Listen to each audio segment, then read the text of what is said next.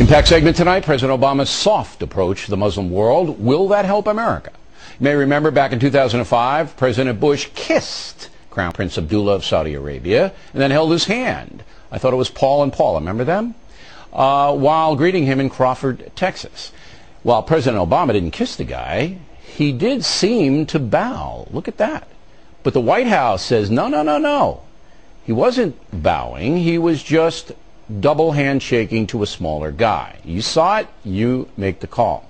A lot of Americans very angry about this. Joining us now to discuss it is from Denver, Asma Hasan, author of the book Red, White, and Muslim, My Story of Belief, and from Virginia Beach, Brigitte Gabriel, author of the book They Must Be Stopped, Why Must We Must Defeat Radical Islam, and How We Can Do It. All right, Ms. Gabriel, we're going to begin with you. Um, Thank you. I'm not going to quibble over the bow. I wasn't there. The White House says it wasn't a bow. But what is clear to everyone is that President Obama was soft, almost subservient to the Muslim world. He wants them to like us. Will that strategy work, madam? No, that strategy will not work. And he did bow to the Muslim king while he did not do it to the British Queen of England. And by bowing, he showed the world that I am subservient. I do owe, uh, bow down to you as a Muslim king, something no other uh, president has done with Saudi Arabia. The Saudi king is his peer. He is not his subordinate in order to bow for him. And this is exactly what Obama did.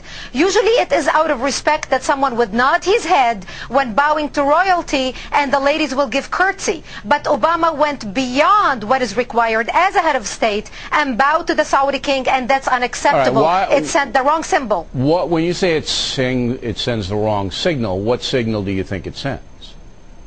It sent a message that Islam is superior to any other master or king or president in the world. That an American president bound to a Muslim king. It also sent a message that terrorism and jihadism is giving Islam the respect it, it should have on the world stage to the point that it made an American president for the first time in history bow to a Muslim king. Something he did not do a few days ago in England. That's a pretty militant view. Do you share it, Ms. Hasan?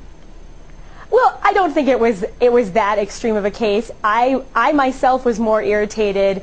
I don't feel that this man who this king who wouldn't look me in the eye or shake my hand because I'm a woman and his interpretation of Islam forbids that. I was annoyed that our president was giving him such deference. It did bother me, but I know that some Muslims did appreciate it, thought it was very respectful, but I was similarly annoyed when President Bush held this same man's hand and was so affectionate with him. Okay. I I, Well, I don't know why our presidents are so gaga Well, I, I know why. They're not gaga. Well, I know why, mean, too. Well, I- two, yeah, there are two reasons. Number one, uh, we need Saudi Arabia's oil, and certainly uh, we um, we want the Muslim world to calm down. All right, we want them not to hate us. So that, those are the two reasons. Now, And Ms. that's a worthy goal. all right, but the question is, by President Obama's conciliatory attitude, is that Mm-hmm. going to accomplish what the United States wants, which is a de-intensifying of the hatred, in your opinion? Yes, I think it will. However, I don't think bowing to anybody will accomplish that. Okay, but I think the the White speech House that Obama gave in he didn't bow. in Turkey, All right. or okay, well, whatever he was doing, I don't think that bow. necessarily accomplishes right, all right, that look, because. look. I wasn't there. Muslim- I'm giving both sides of the story. If it were me, I wouldn't hold his hand. I wouldn't smooch him. I wouldn't bow. I'd say, "Hey, how you doing, King? How's things going over But there? Can we help you out?" I'm sure he'd, he'd want to what would smooch you do. because you know everybody wants to smooch you, Bill. So Well, um, no. I'm sure. I'm sure he'd want to not smooch you. the Middle chance. East operates. But now, the Ms. Middle East Gabriel- operates on But- but let me- let me- Whoa, let me whoa, whoa, finish, whoa, though. hold Let it. me- Calm down now. Ms. Gabriel, you were very militant on condemning Obama, okay? And and that's your point of view, and we respect it. I don't, And no, I don't I agree. to I don't say- agree. I don't agree with it, but I, I, I respect it. But let me ask you about Bush.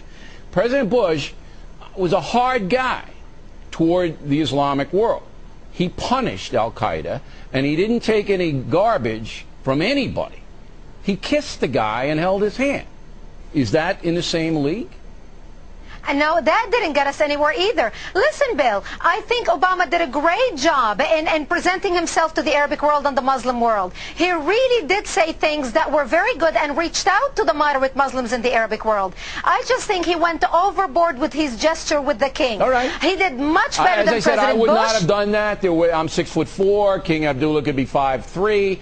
I'm not bending down. I'm sticking my hand out. That's he can reach right. up. He wants to shake my hand. He can go like this. Because I agree. I agree with Queen. you. Look, look. There's a way to be diplomatic, and Teddy Roosevelt That's said right. it best. You speak softly, and you carry a big stick. You don't kiss people and, and smooch them up and bow to them. That ain't going to get you anyplace. It gets you short term. It'll get you short term. I agree with, with that. But long term, they got to respect you, and they got to. Th- and I think the point that you made, Mr. San, that mm-hmm. the Muslim world may think they're winning because of terrorism, that we're a little coward. I think that's a good point. But it's a real balancing act because you, you can't go over to the Muslim world, you can't go to Turkey, who we need. We need that country. And be strutting mm-hmm. around like, you better do it our way, you guys, because that, that's going to hurt Americans. Well, what Obama said in Turkey in his speech is things that I wanted to hear as a Muslim from an American president. So I think it, it is good to reach out to moderate Muslims, and No, it Rashid is. and It I is agree just how you do it. Ladies, thanks very much. Very interesting discussion.